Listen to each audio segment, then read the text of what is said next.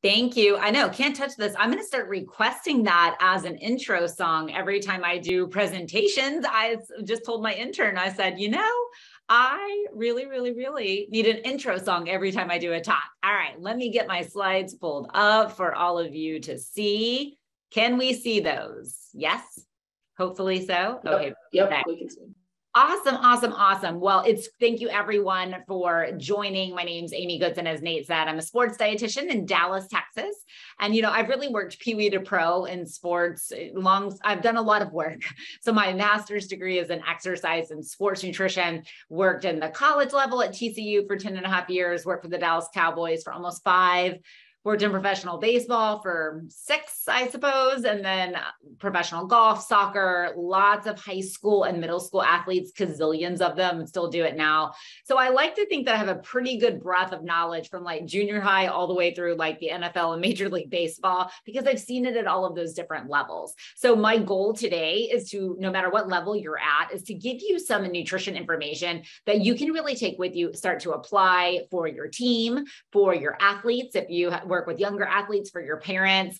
I'm all about making it practical. And so today, that is the goal for when we leave here.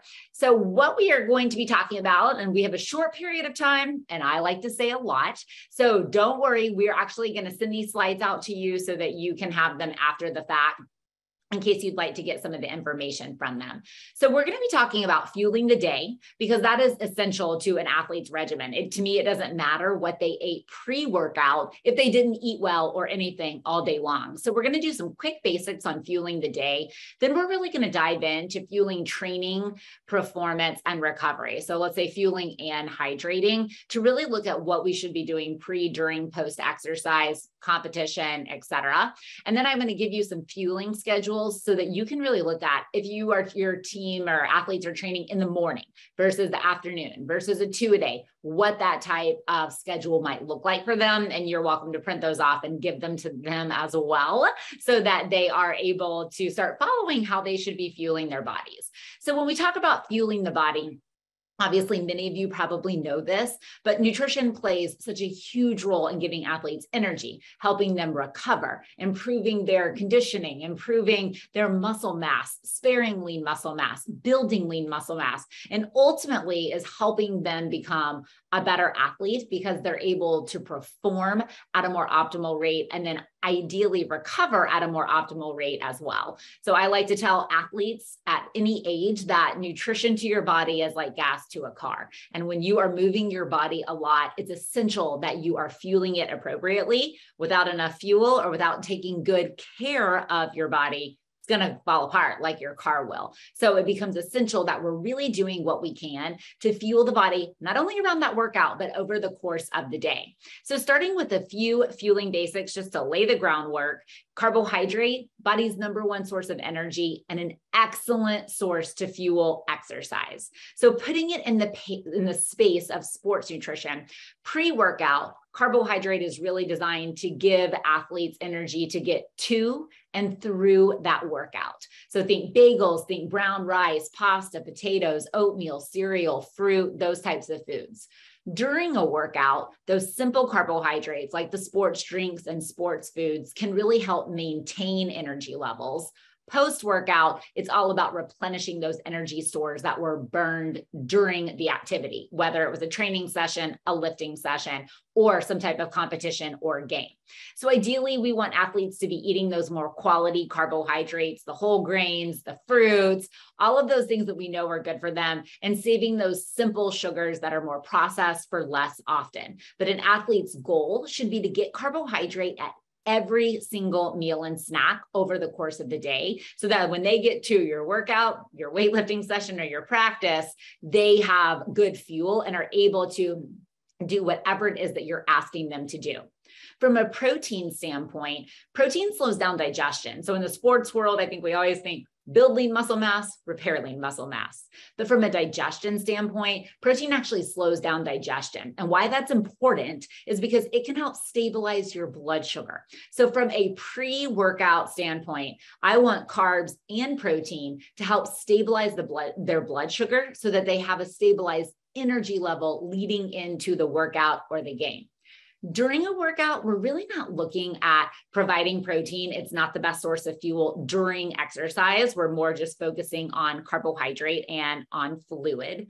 Post workout, protein takes the cake, right? It becomes very, very essential. And I'm going to talk through some of those numbers in a minute. But providing high quality protein in that immediate window post workout is really going to be what helps your athletes recover and start that muscle resynthesis process as soon as possible. Ideally, we're looking for athletes to be eating high quality protein over the course of the day. So think any animal food, beef, poultry, fish, eggs, dairy. Some plant foods do provide pro- protein as well, like beans, nuts, seeds, legumes, but we get more grams of protein from animal foods. So as long as your athletes eat animal foods, we ideally want them eating that high quality protein at each meal and snack over the course of the day. Here's a chart to show you how much protein an athlete needs. It's really individualized to the athlete's weight as well as to the sport that they play. So typically for most really active athletes, it's in that 1.2 to 2 grams of protein per kilogram body weight. Now, when we talk endurance athletes, it's about 1.2 to 1.4 grams. When we talk about our think like team based athletes that have a need for strength and endurance, think soccer, volleyball, hockey, basketball. They're kind of in the middle at that 1.4 to 1.7 grams of protein per kilogram body weight. Then your strength athletes going all the way up to two grams. While this doesn't like shake out perfectly, two grams of protein per kilogram body weight is about a gram per pound. So if you're trying to educate a young athlete, that's the way you could do that especially if they're trying to gain lean muscle mass or they're in a strength based sport. So it's very individualized to those two things. When we talk about the next macronutrient, fat, fat really helps improve satiety. We have good fats and bad fats. So ideally, we want our athletes to eat less of the bad fats. Think fried foods, pastries, baked goods, all the things they love. Never seen so many high school kids eat chicken strips and french fries as I have going into a workout. So who knows? But really trying to help them get those healthier, unsaturated fats that can help fight inflammation. So we're talking the fats that you find in fatty fishes like salmon, trout, tuna, nuts, seeds, nut butters, avocado, those healthy oils that their parents might be cooking or they might be cooking with.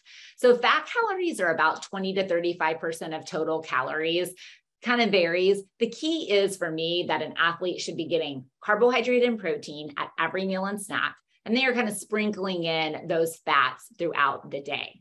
Of course, we want our athletes hydrating. To drink a bottle of water before a workout is not enough. They need to be hydrating consistently all day long. So we know that a 2% level of dehydration in the body equates to about a 10% decrease in performance. And as dehydration gets worse, performance declines. So I like to tell athletes if you walk into a workout or game dehydrated, and your team, the other team walks in hydrated, you're already at a deficit. So it becomes very important that they are drinking fluid consistently over the course of the day. So when we look at that, and I'll paste it together with pre, during, post a little bit more, but here's where you can see that pre workout, we're wanting about 16 to 20 ounces of fluid with that pre workout or pre game meal, and then drinking consistently leading up to the start of that workout. Could be water, could be sports drink.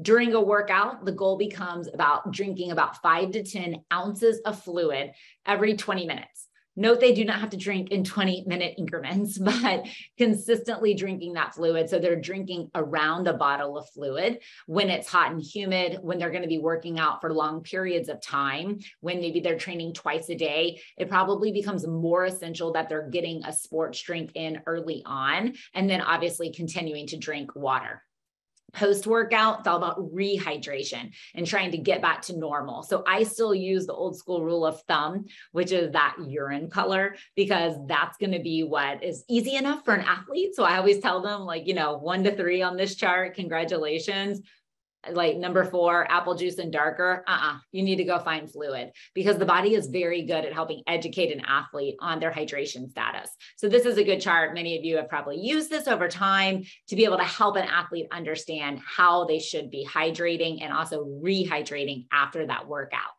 When we talk about fluid, cramping is an issue for lots of different athletes. Could be in the heat and the humidity, but some of them just struggle with it Typically, I would say that cramping is really one of three problems or a combination of them. Number one, they're tired. Hmm, I don't know exactly how much I can do about that. But number two, they haven't had enough fluid or they haven't, number three, they haven't had enough electrolytes. So we want our athletes drinking fluid but we really want them consuming sodium and potassium as well to replace what's being lost in sweat. You ask any athlete what they should eat or drink for cramping and they're going to tell you a banana because it's high in potassium. The truth is that sodium is the culprit to cramping. So the average person loses about three times the amount of sodium in their sweat as they do potassium. So you actually need a lot more sodium. So helping educate your athletes on eating those saltier foods, adding salt to vegetables or scrambled eggs, and eating salty like pretzels or crackers or nuts, trail mix, things of that nature.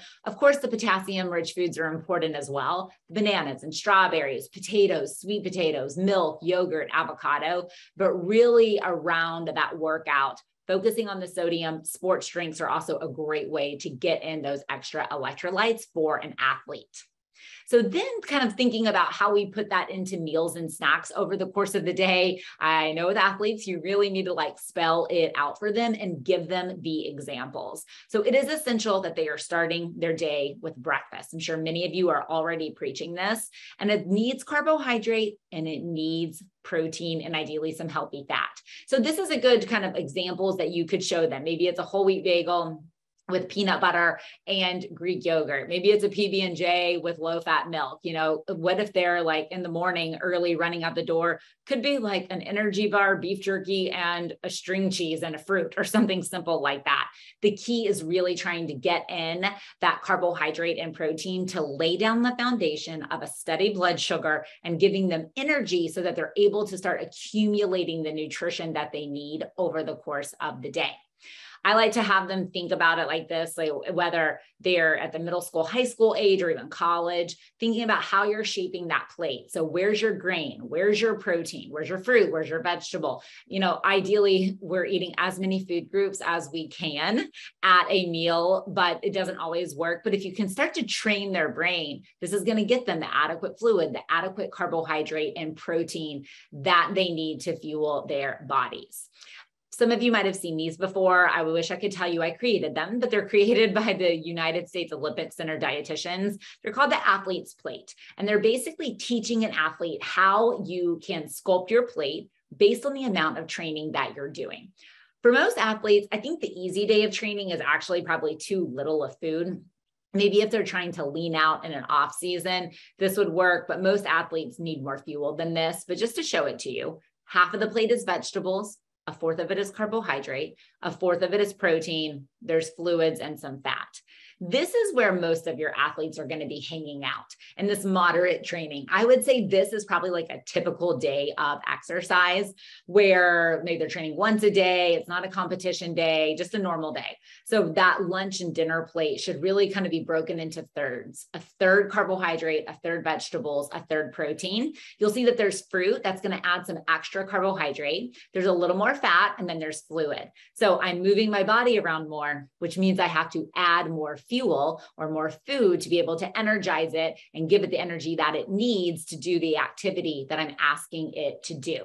So then on a hard training day, so this could be like a two a day training day. Maybe it's a day your kids are playing in a tournament. Maybe it's a game day. Now you'll see that plate has shifted half of it is carbohydrate, a fourth of it is protein, a fourth of it is vegetables. You see there's fruit, added fat, and fluid. So again, think nutrition periodization. I'm adding more food and more carbohydrate because I'm using my body more. So for athletes, I think that this is a really optimal way to teach them because they eat on a plate most of the time. and so they can really think how to shape that plate based on how they're training over the course of that day, that week, wherever they're at in the season. I am all about snacks. I think snacks are what hold the whole little sports nutrition puzzle together. They're like the glue, right, between all the major meals. Breakfast, lunch, and dinner is not enough for an athlete. They've really got to focus on all the in betweens. This is where you can help athletes really keep their energy levels up, still trying to do carbs and protein. So, is that a protein bar that has carbs and protein? Is that cheese, crackers, and fruit? Is that a granola bar and beef jerky? Do they have time? And it's like a yogurt parfait with granola and fruit. I love the energy bite recipes. I have one on here. There's lots of different ways that you can make them, but this is a great on the go fueling. They can eat this between their classes when they're, you know, moving between, you know, classes or when they're going to practice. These are really simple little bites that can give them a good amount of fuel and get them to that next eating opportunity. So really coaching your athletes on snacks consistently because no matter what time of day their workout is, you want them to walk in with an accumulation of nutrition, and snacks can really help add some extra energy for them. So, then starting to move to focusing on fueling training, performance, and recovery very specifically. So, when we talk about pre exercise, pre workout, pre game, pre whatever eating, you know, people always say, How much time should we eat in advance? So I'm going to say in a perfect world, you eat about two to four hours before the training event, before the game, whatever it is. I say in a perfect world because I don't feel like it happens very often. Many times it just doesn't fit with when lunch is or when the practice is or when the game is or whatnot.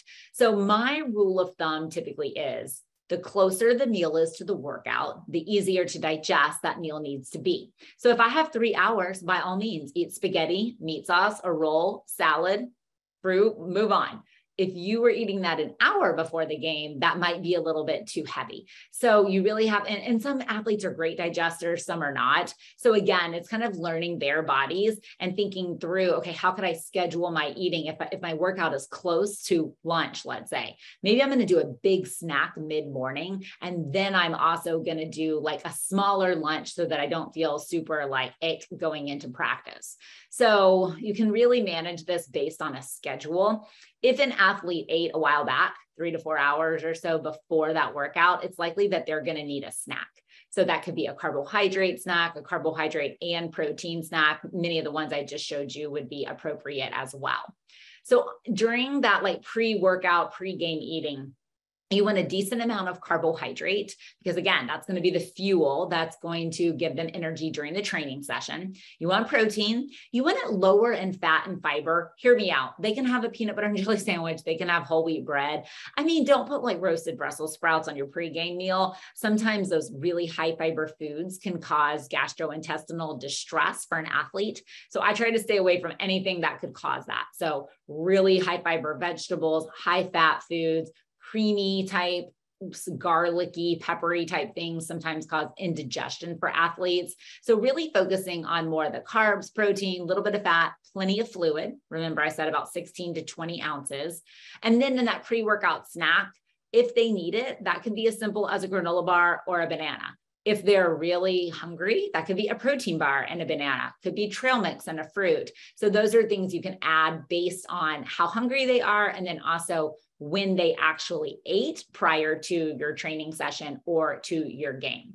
So when we think about pre-game eating, because I know this is a desire to know for a lot of coaches, or maybe you're working with parents or a booster club or someone else that's planning the meal, here are some tips to kind of think in mind or keep in mind when you are writing that pregame meal and kind of thinking about it. You want to make sure that you have the complex carbohydrate to give them that long lasting energy. We want some protein, leaner protein, preferably not fried at all. We want the leaner types, a little bit of vegetables. I say easy to digest vegetables like green beans, corn, salad, etc. Ideally, we're going to have fruit because fruit's going to be an extra source of carbohydrate as well as a source of electrolytes, avoiding the high fat, high spice, really spicy, garlicky foods, having plenty of fluid. So, having water, having sports drinks readily available so that those athletes can be drinking, very, very important. Have salt around salt on the table. We need athletes to get those electrolytes in, and salting their food can really, really help. So, making sure salt is available.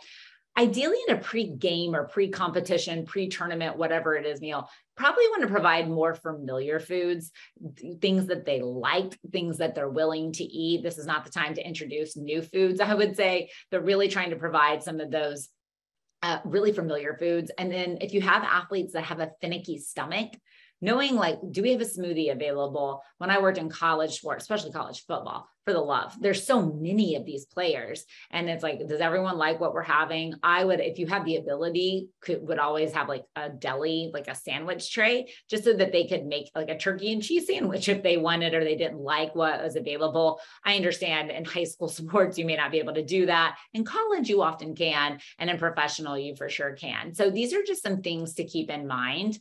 And then when we talk about actually building that pregame meal, here are just some options. So if you have parents or someone else that's going to be planning your pregame meal, showing them, or maybe you're sending this to, I used to create these and send them to hotels in advance that I wasn't traveling with a team to say, okay, carbohydrate options. I would want pasta with marinara sauce, baked potatoes, you know, rice, rice pilaf. If it's breakfast, maybe it's like oatmeal, grits, bagels, those types of foods. What do I want my protein options to be? I said easy to digest vegetables. So I like to list them out so people know what I'm talking about. And then I love providing extra bread at those pregame meals because a lot of athletes do need more calories and they might need more carbohydrate. Obviously, some players play more than others. So having some type of whole wheat roll or breadstick or cornbread, or, you know, if it's at breakfast, toast and bagels, those types of granola bars and things, this can give those athletes some extra carbohydrate. So if they need it, they have some available. So here's just some examples of what that might look like. Could be scrambled eggs, whole grain bagel, fruit, sausage, you know, could be a breakfast sandwich. So these are some examples. You know, if it's dinner, it could easily be like grilled chicken with pasta, green beans, and a roll. So some good examples that you could provide to parents or whoever's planning your pre-game meal. Another challenge that we often have for like those pregame snacks is like making sure we have the right kind of snacks. And a lot of times athletes don't like to eat a lot right before a game or really before a workout. So I will often focus on these, what I call nutrient dense snacks. So meaning more calories per bite. So think like trail mix, some of the bars that are out there, you know, peanut butter filled pretzels that have the salt on them, you know, some of the granola bars or granola that's out there. These are some high calorie foods that they don't have have to eat as much of them to have the fuel that they need to go to the workout. So these can be great pre workout as well as like during those in between times. Now, if you have athletes or your team trains in the morning, typically uh, athletes don't love to eat in the morning, but I always tell them you don't want to run sprints either, but you figure out how to do it. And you can teach your body to run faster, jump higher, and lift heavier. You can, by all means, teach it to eat a granola bar. Might take some time, but you can. So, for a cardio workout, maybe a lighter workout, I think athletes can hang out with carbohydrate. Maybe it's a bagel, granola bar, banana. But when we start talking about more intense training sessions, your bigger, larger athletes. Like I remember my TCU baseball team used to train from 7 to 8 30 in the morning in the weight room. If I give them a banana, they're going to pass out. They need like a peanut butter and jelly sandwich and a banana. So in the situations with intense workouts, weight training larger athletes, I do like to add protein as easy as possible to that pre workout snack in the morning. Just a bar, something like that. Peanut butter is often going to be a good example if you have athletes that are going to be playing in tournaments or maybe you work with endurance athletes could be swimmers could be runners uh, I often encourage them to start carb loading. You think about that for like marathons, but I will actually start recommending carb loading the day before, meaning that they're just focusing on eating a little more carbohydrate at each of their meals and snacks. Typically, a day before a major event, a major competition, or a tournament, they're not going to be eating as, I mean, they're not going to be training as much. So if I increase the carbohydrate, I'm ideally maximizing their stores. So, like I said, it's eating though just a little more carbohydrate at each meal and snack, adding more salt, adding more fluid, trying to prepare their body and get it as well fueled and hydrated as possible to go into a day of a lot of training or a lot of movement. If you have early morning competitions, less likely in like football or something like that, but in volleyball or soccer, or running, you know, make those athletes get up. If it's a training day, okay, fine, they can just do a snack. But if it's going to be a competition day, they really need to get up and eat something that's easy to digest. Think bagel, peanut butter, banana sports drink, you know, depending on what they like. Could be a smoothie if they like that. So simple, familiar foods, but carb, protein, plenty of fluid and electrolytes to help fuel them to get to that morning competition or morning game. During a workout, the goal is really about hydration. I already mentioned this, but five to 10 ounces of fluid every 15 to 20 minutes during exercise. So the idea is that they're clearing about a bottle of fluid an hour. Water or sports drink for workouts or games or whatnot that are going to be a lot longer than 90 minutes, you definitely want to start putting a sports drink in to provide carbohydrate or sugar to help keep their energy levels up as well as provide the fluid, but then also electrolytes. If they're training twice a day, I would might put the sports drink in even earlier. And they can drink it earlier, but I'm just saying they have, they really need to start implementing it if they're going to be going through a really long training bout. If not, they're more likely to become dehydrated and really start running through their carbohydrate stores, which ultimately is going to make them start tapping into lean muscle mass as a source of energy and probably getting slower at your workout and less powerful. So the carbohydrate and electrolytes can really help there if you have athletes that are training, maybe they are go to practice, then they're going to go to the weight room or like high school sports, they could be going from track to summer or to spring football or something like that. Giving something, I already mentioned these dense foods, some carbohydrate, little bit of protein can really help kind of give a little boost of energy getting to that next workout.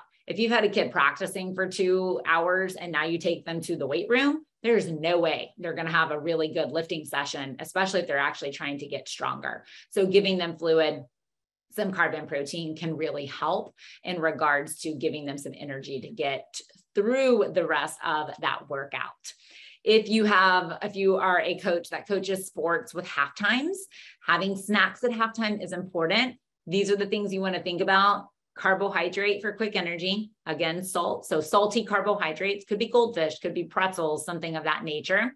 Foods that don't have like food safety issues. So probably don't set out yogurt and hard boiled eggs. If you need a, for protein, I would say protein bars or like beef jerky sticks or something similar. A little bit of healthy fat. I mean, when I worked in the NFL, we use peanut butter and jelly sandwiches. They love it, digest pretty easily and we could move on peanut butter and jelly or peanut butter and banana. And then obviously plenty of water and sports drinks for hydration. So having these foods readily available at halftime is going to be important. So especially your athletes that are playing a lot can get some more fuel in them to go through the second half of that game.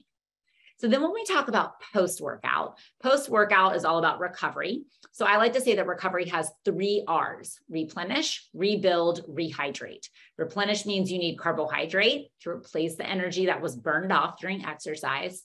Rebuild means you need protein to start repairing the lean muscle mass that was damaged. Obviously, rehydrate means you're going to need that fluid. So we have this two hour window after a workout. And basically, in that little window, your body is primed to recover. So it's going to take up glucose or sugar, carbohydrate a lot more quickly. It wants that protein to start recovering. So the recommendation is that an athlete eats a carbohydrate and protein snack as soon as possible after that workout session we say within 45 minutes, but I tell them if you can do it in five minutes, do it in five. Because during a workout, your body goes into what I call breakdown mode. Catabolism is the fancy science word. Nutrition puts your body into anabolism or building and recovery mode. So the faster that I can get your body out of breakdown mode into recovery mode, I'm going to start that recovery process. So ideally, we're talking about a quick snack and then following that up with either a meal or a larger snack. So, in that immediate post workout window, we want simple digesting carbohydrate. So, simple meaning like the carbohydrate you would find in fruit, honey, milk, a lot of the post workout ready to drink shakes that exist. So, a lot of parents are like, oh my gosh, those have sugar in them. And I'm like, that's the point. They meant to put it in there because it digests quickly to promote that glycogen or carbohydrate replenishment. And then in the protein world, we really want about 20 ish grams of high quality protein, specifically looking for leucine. So, leucine is a branch chain amino acid. It's found in like milk and dairy and whey protein and all the different foods, the high protein foods. But that leucine is really like the muscle, like the light switch to muscle resynthesis. So, getting that high quality protein is key. So the window is about 15 to 25 grams of protein. If you have larger athletes like in the NFL, I have guys that weigh 315, 320 pounds, and they were like, I weigh 200 pounds more than you. How do we need the same amount of protein post workout? Well, they probably could benefit from a little bit more. So you'll see the number here is about 0.25 to 0.3 grams per kilogram body weight. Typically, this is going to put a larger athlete in that 30 to 40 gram window. The research suggests that after 40 grams of protein, the body is not using it for muscle resynthesis. Are you digesting and absorbing the protein? Yes, but your body is no longer using it for muscle resynthesis. So get in that window 20, 25, 30 ish grams, then wait your little, you know, go change clothes, take a shower, then get another 25, 30 ish grams in that post workout meal or snack. When we talk about the third R of rehydration, we want athletes drinking at least 16 ounces of fluid 24 ounces per pound lost if they are training multiple times a day. So if your athletes weigh themselves, say for instance, like football, you could go 16 ounces per pound lost. If they don't, I go back to the urine chart color. Try to keep hydrating until you get to pale yellow to clear, because that's going to be your body's sign that it's gotten back to that rehydration state. What I love about like rehydration is you can use water, sports drink, milk, chocolate milk smoothie, post workout shake, all of those are going to contribute to your post workout hydration. And the reality is sometimes those are the most convenient and easy. And they're providing all three R's the carbohydrate, the protein, and the fluid to replenish, rebuild, and rehydrate. So that's optimal for a lot of athletes because it's a quick and easy way to get in that post workout nutrition. Then we'll follow up with another meal or snack. So it could be a bigger snack if it's not time for a meal. Then we go back to the plate theory. So really focusing on getting more complex carbohydrates, more protein. You can put veggies or whatnot there, plenty of fluids, still adding those electrolytes. So salting your food would be important. So a snack and a meal, or at least a snack and a heavier snack in that two hour window post workout. For many of you, probably that work with younger athletes, could be college though, too a lot of them go to practice and they have to go straight to school or to class. So they don't have the opportunity to go home to eat. And many of them don't eat, which blows my mind. So I'm all about the brown bag breakfast, giving your athletes a list. All right, put beef jerky, a granola bar, a little peanut butter pack, and a fruit in your bag so that you can eat that after. If they can run through the cafeteria and get milk or chocolate milk, fantastic. Great way to hydrate and to get some of that carbohydrate and protein in. But these are just some examples that can really help an athlete get the fuel that they need, but in a pretty like easy, convenient way if they need to eat very quickly before getting to class or going to school in the morning.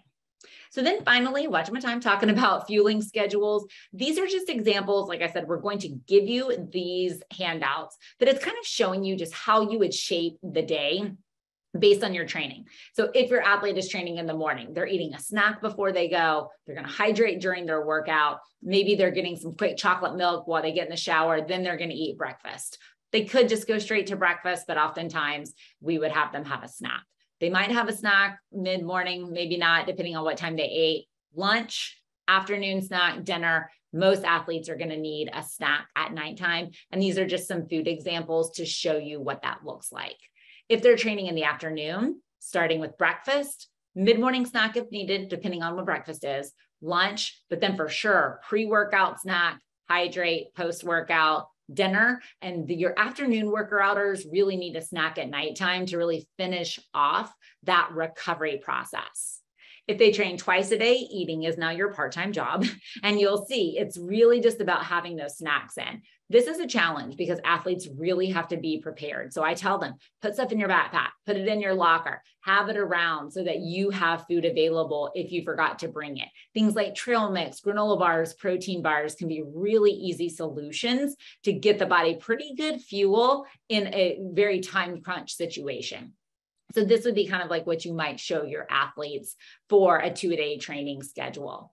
Then finally, this might look like a game day if they're playing at nighttime. So having breakfast, a, maybe an earlier lunch. If they do a shake route workout, maybe they're doing a smoothie or something.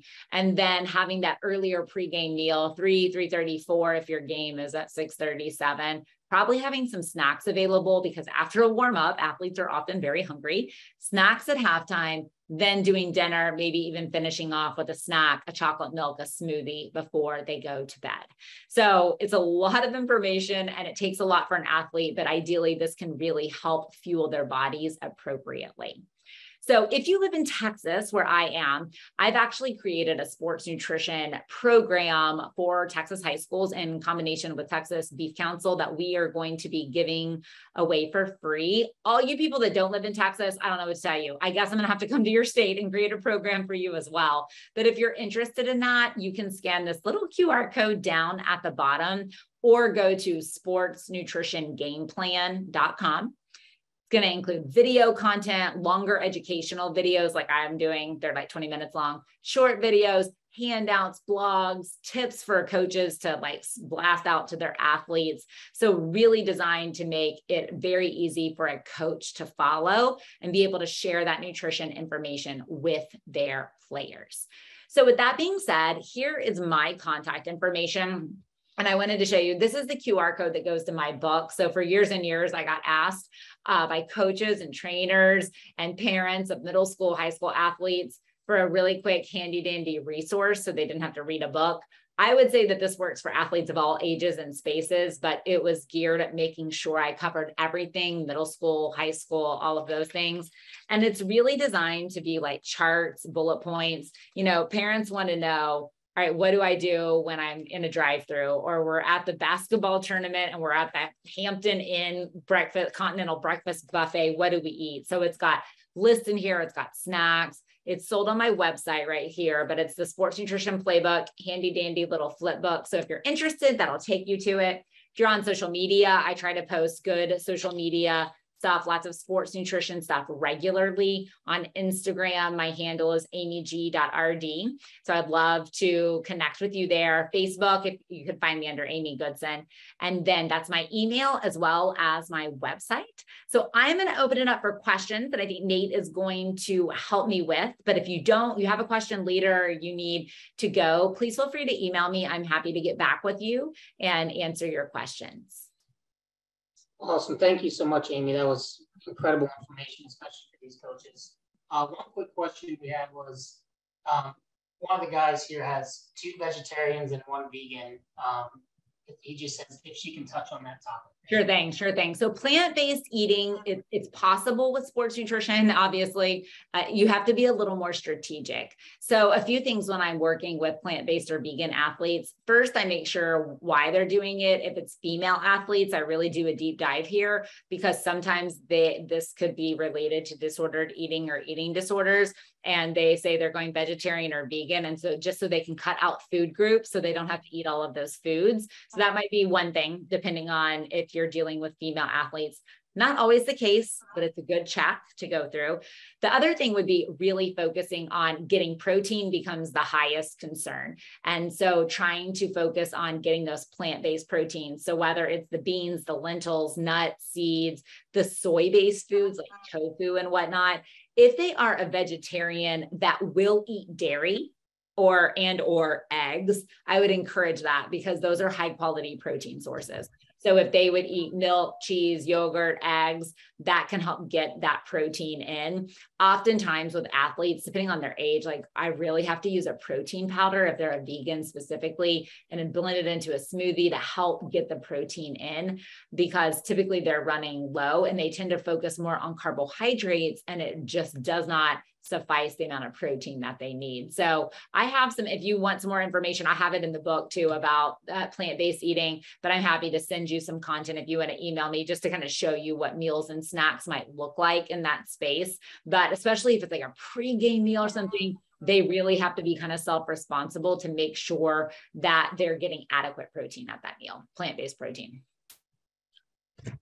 Awesome. We got a question here from a wrestling coach. He says, in wrestling, sometimes meals get smaller. What is the best all purpose snack?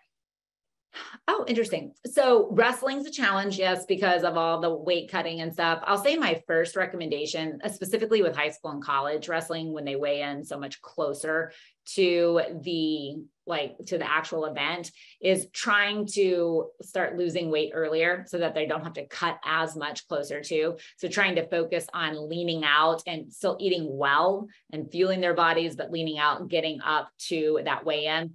What I would say after, if the question is re- in regards to after the weigh in to giving them the fuel, twofold. So, number one, I would go with my really dense foods that provide more calories per bite. So, think like like protein granola. Think like trail mix and a banana, something that they're going to get a lot of nutrition for a few bites. There's a variety of bars out there, like there's a brand called Bobo's, and they make these little bitty muffins, and they're literally 150 calories a muffin. So those are really quick bites that you could get but also supplementing with quick digesting carbohydrate. So that could be a sports drink, could be like the energy chews that like Gatorade and Clif, all of those kind of brands have, um, because you want that quick digesting carbohydrate to really give them the quick energy. So dense foods to give them the energy to start competing, but some of that quick energy for more that quick burst and get them going. And then I would recommend sports drinks and like energy chews or the little gel, even like gels that you would see in marathons and things like that, like between the matches, just to give them that extra kind of jolt of carbohydrate and then rehydrating them the best as possible because we know that re- that dehydration is going to cause a decrease in performance. Awesome, thank you. Then um, we have another question here. They have shortened our 60 game halftime to five minutes. What would be your top two snacks to consume in that short of a time? And they're talking sure. about field hockey. Yeah, yeah, yeah, yeah. Wow, five minutes, huh? That's a real struggle bus right there. So I would say if you have access to a bar, like a, a granola based, like a protein type bar would probably be your best, like protein bar and fluid, just because it doesn't take a lot of preparation. You can just like throw it at them. That would be ideal. The other thing I would probably go with would be like trail mix and fruit. So like if you could buy, think of like Sam's and Costco where you can buy those individual bags of trail mix where you can just rip it off and just start shoveling it down and maybe have like a banana. So it could be very easy to grab and go, like logistically speaking, and so that they could just get it in. Even like the little bags of trail mix and a banana would work one of my other go tos is uncrustables. I used to use these in the NFL. I mean, it's just genius. They're the little frozen peanut butter and jelly, y'all know peanut butter and jelly sandwiches, and they're individually packaged. And so you freeze them, you set them out, they're ready by halftime. The guys can eat them so quickly. Rip open the bag, it's individual, decent calories, about 350 ish or so, depending on which one calories. Um, and they like them, which is key. So, pretty simple way to fuel them quickly and then get them back out. I mean, yeah, I eat Uncrustables daily, and I don't even work out anymore. So they're just yeah. When, I'm not even joking with you. When I worked for the Cowboys for four and a half years, uh, you would have thought I was laying out liquid gold when I laid out the Uncrustables. I mean, they loved them, and I'm like, well, if this makes y'all happy, then so be it. But I we used them all the time on the road because it was so easy. They're awesome. We got another question here. What would be a good go-to snack for a high school athlete who has lunch at from 10:30 to 11, and then a cross country race at four.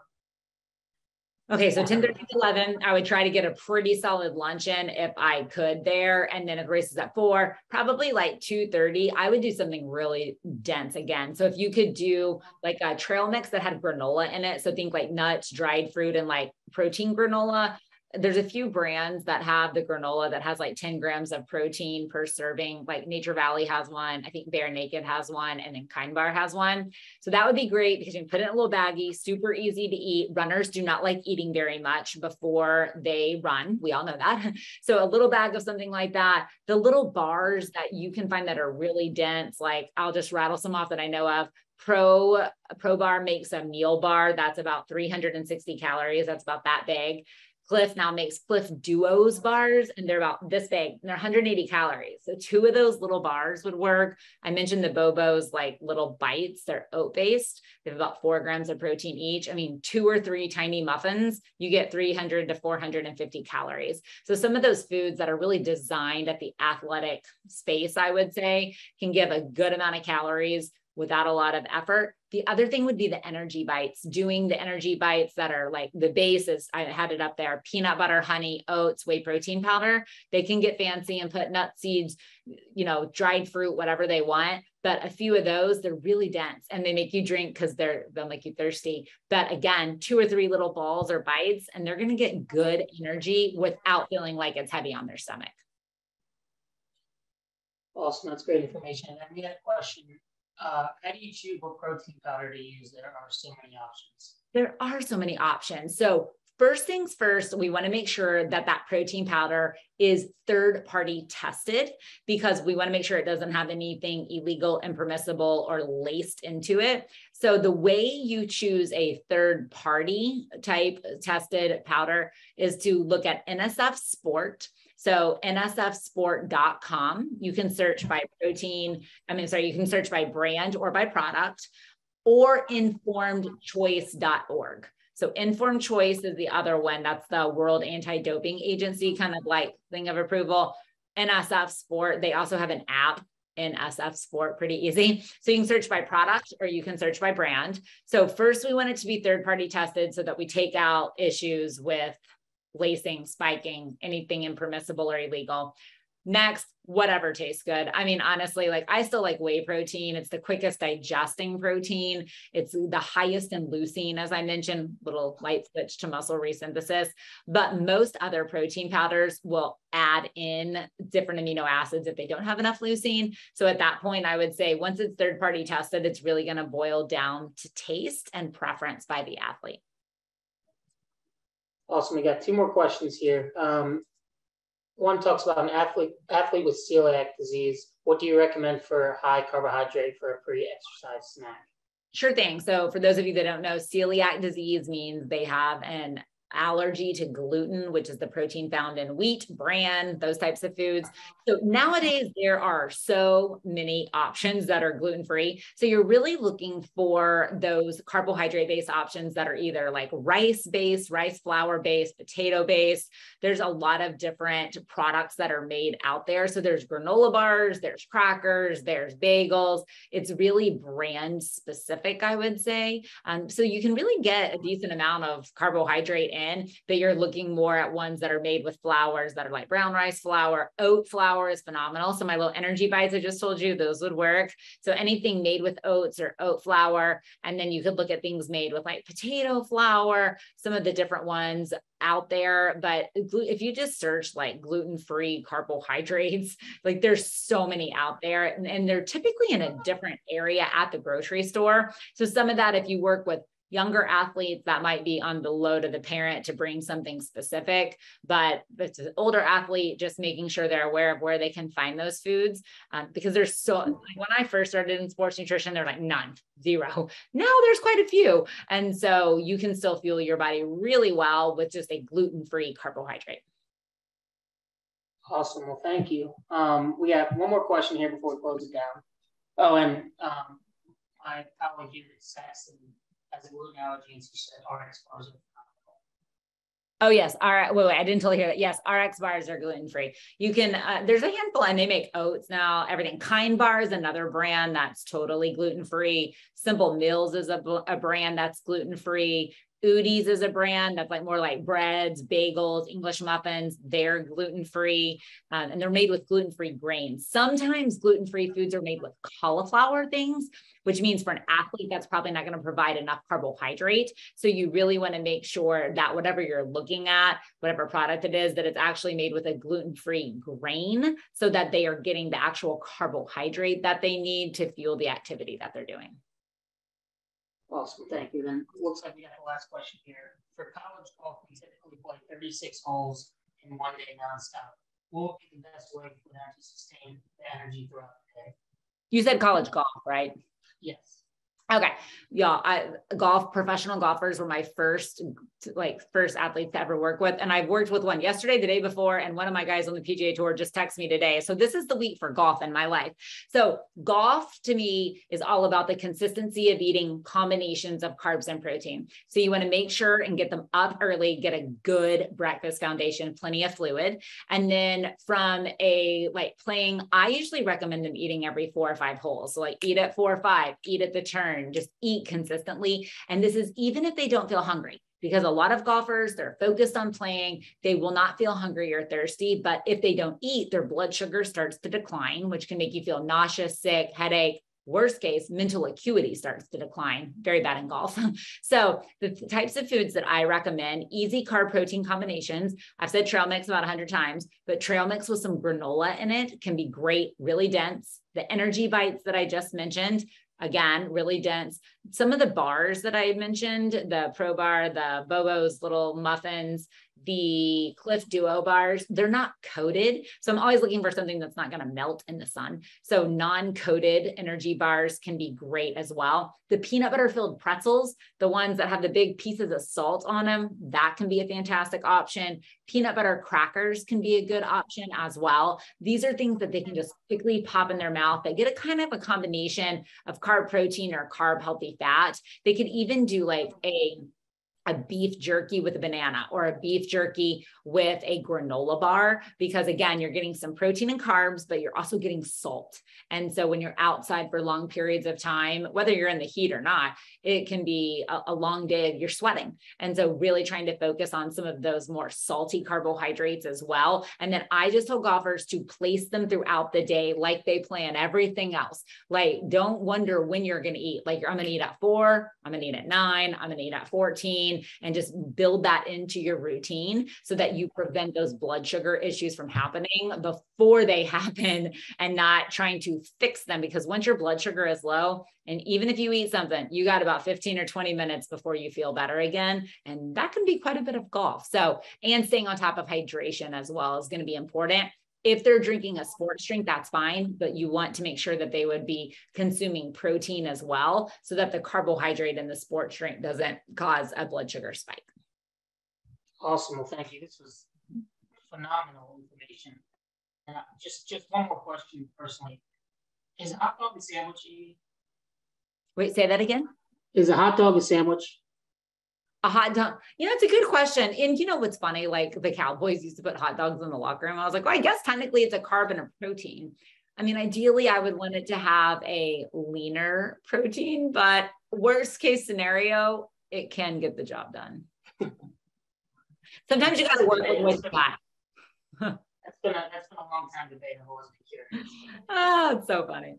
Well thank you so much. This was amazing again. Yes thank you to everyone for coming